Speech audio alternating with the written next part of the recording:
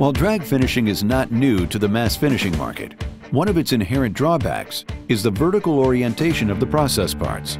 The extreme variation in media pressure throughout the depth of the bowl makes it difficult to get an even finish on longer parts, and in many cases, the part is not able to fit into the chamber.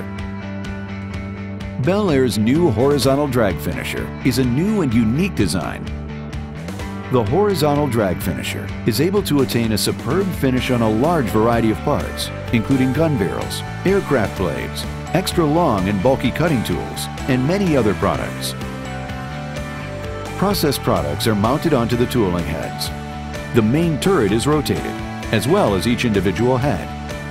This ensures that each part is thoroughly and evenly deburred or polished. The machine uses a PLC and touchscreen controller.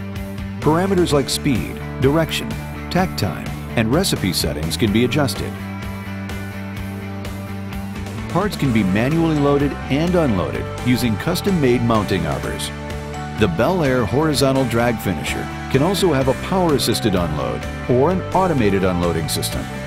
Bel Air's new horizontal drag finisher, combined with Bel Air's own special blends of dry media, now allows for polishing and deburring previously done by expensive and tedious alternatives.